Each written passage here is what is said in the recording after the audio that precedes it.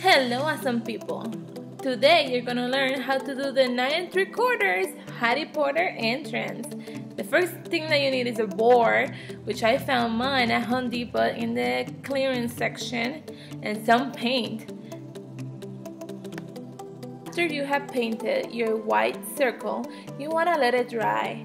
Then you're gonna move on into painting the rest of the board a red brick like color. If you have little helpers, have them help you. They have so much fun and it's just gonna be a great experience for all of you. Then, once everything is dry, you wanna write the Hogwarts Express letters below. You wanna choose a golden or a yellow color for this.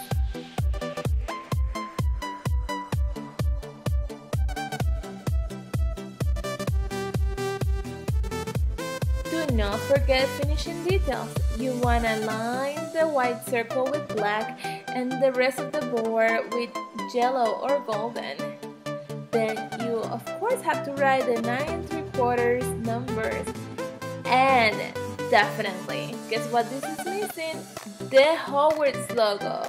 So in this case, I printed out normal paper and I Mod Podge my logo to the board.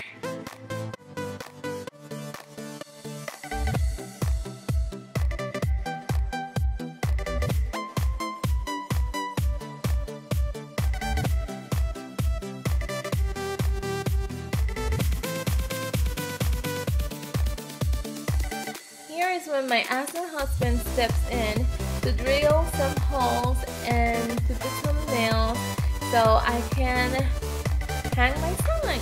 Watch what he did.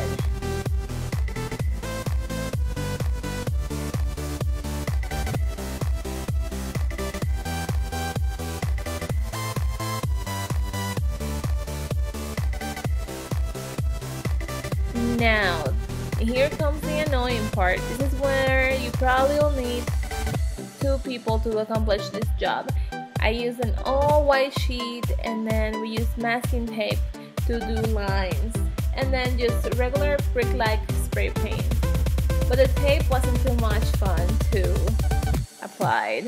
Let's just say that. Here you have it, the finished product. Let me know what you think down below. Thanks for watching.